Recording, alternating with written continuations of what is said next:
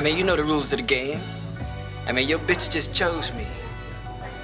Now we can settle this like you got some class, so we can get into some gangster shit.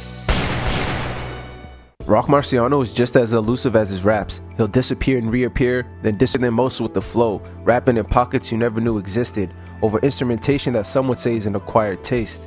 But this just underscores his distinct artistic palette. He may be the greatest MC producer combo we've ever seen in hip hop. He's the underground's undisputed king, and we may have yet to see his best work.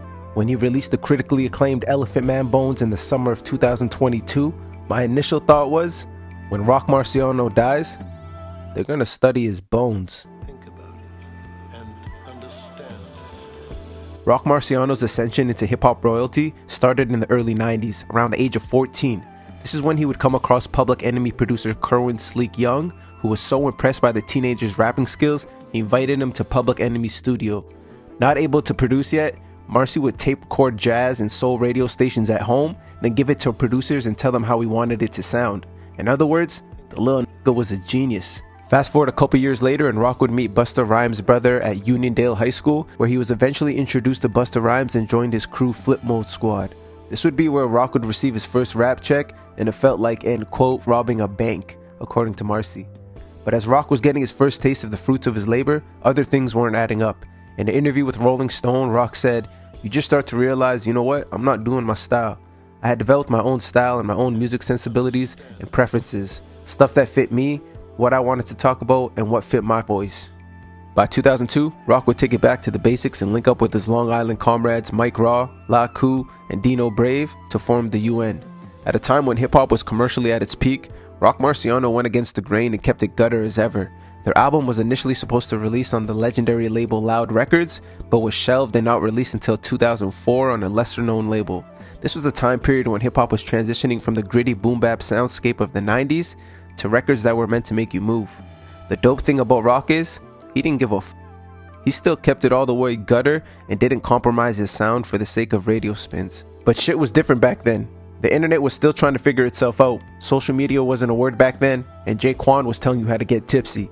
To make any noise in the music industry, there were gatekeepers, whether it be major labels, industry execs, or A&Rs. It was a time when it was about who you knew, and where if you wanted to get on, you had to get the boss of your label some cheesecake. Puffy just told us to go to the store in Brooklyn and bring him back a cheesecake and walk. So while Fit Rifkind's SRC Records, where he would begin working on his official debut album, Marcberg. On May 4th, 2010, Roc Marciano released his debut album that would not only shake up the underground hip hop scene, but usher in a whole new era of rappers who have followed in his path. The critically acclaimed masterpiece that is Marcberg takes influences from black 70s gangster pimp films and meshes it with soulful drumless backdrops with multi-syllable raps that paint a vivid picture of the gritty East Coast streets. Track number three, Whatever Whatever, is a masterclass in multi-syllable wordplay over drumless production that somehow still has your head bopping. One of my favorite parts is when Roc raps, hit with the nine, lies, sleep, time is money, pride and deceit, lies and greed, despise in the trees, cheese, wives are cheap, grind in the streets, your enemies come disguised as your peeps. Lines that I read, filed to the teeth, filed from the cheap, 25,000 a key. Niggas sound funny styled on me, you'll get found in a pile of leaves, nigga. That shit is hard. This album makes you feel like you're on the back blocks of New York or Philadelphia with Tim boots and a Pele Pele jacket on. The shit is straight dope. We Do It featuring the legendary Brownsville Ka has Mars flossing over the guitar sample loop that sounds like he got a Mac 11 under his fur coat.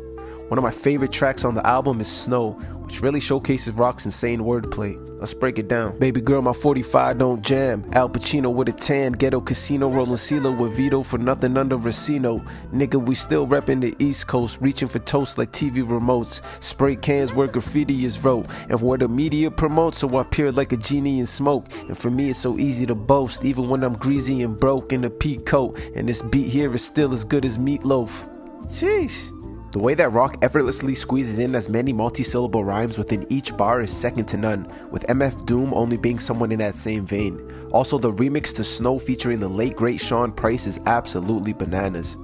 Riding Around gives game on how to maneuver in the concrete jungle over a sinister loop, while Panic has a dreadful bell playing under grimy drums, while Mars details the chaos of shootouts and money bags. The album really has no misses and still sounds fresh to this day. Songs like Pop is an absolute head knocker that is truly timeless. With minimal features and the whole album being entirely produced by Roc Marciano, it's hard not to say this is one of the greatest hip hop albums of all time. In my humble opinion, of course. Two years later, Roc would release his sophomore album Reloaded, this time with help on the production side with the likes of The Alchemist and Q-Tip. The album would garner critical praise for bringing back elite lyricism and high quality instrumental compositions. Marci Beaucoup would be rich in features with standout verses from Philly native Freeway and Brownsville Ka. What I like the most about this album is its minimalist style and production, allowing the vocal flow to be part of the instrumentation's final product. Every song on this album is like a hit of dopamine to your brain. Roc's depictions of a smooth criminal in the cold streets of the East Coast over 70 samples is nothing short of sonic bliss.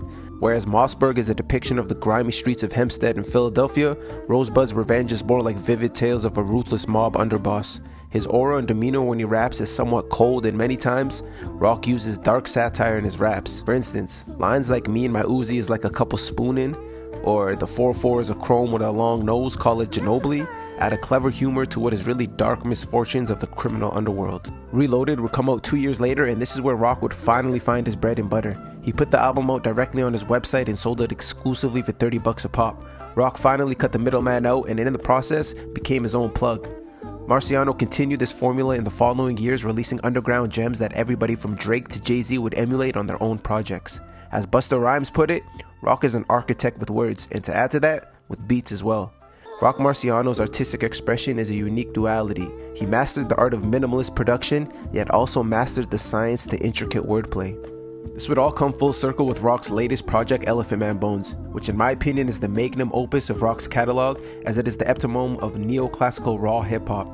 It's so elegantly put together, the title track Elephant Man Bones is an utter masterpiece with Mars offering food for the spirit. Liquid Cokes, which samples George Duke's 1974 Faces in Reflection, has a cool, calm, and collected Mars rapping. He'll put you in a hospital room and bets your legs won't move. Has stayed busy on the production side, producing Stove God Cook's Reasonable Drought in 2020 and Jay Worthy's Nothing Bigger Than the Program in 2023. Rumor has it that Roc's future projects will have him experimenting with singing and melodies, which is not surprising seeing as he sprinkled melodies all throughout his catalog. Wherever he takes it next, I'll definitely be watching. I go by the name